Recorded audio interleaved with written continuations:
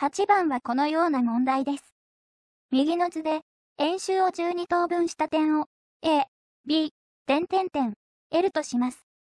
これら12個の点から異なる3点を選んで三角形を作るとき、どの辺の長さも円の半径より大きくなるような三角形は全部で四角個あります。ただし、合同な三角形でも頂点が異なるときには異なる三角形として数えます。難しくなさそうな問題ですが、とてもミスしやすく、得点しにくい問題です。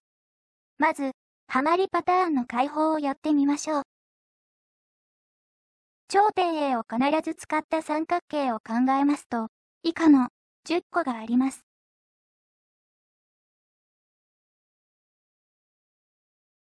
頂点は12個あるので、12×10 イコール120個。と、やってしまうのが、ハマりパターンです。ダブリが、かなり入ってますよね。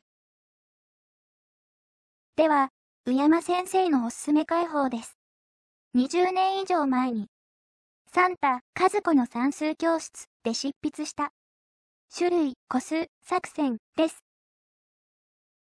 種類は、下の3種類しかありません。これを、336、345、444と、表現するのは、受験ではお約束ですよね。336矢印12個頂点が12箇所あるので、345矢印 12×2 イコール24個鏡面もあるので、444矢印4個3個ではないので注意。合計40個。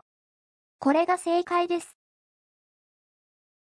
種類、個数、作戦では、上手に種類分けして、しっかりと個数を計算しましょう。